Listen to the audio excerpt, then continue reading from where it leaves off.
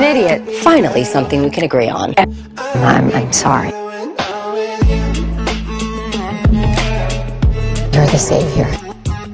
My, ma- my majesty.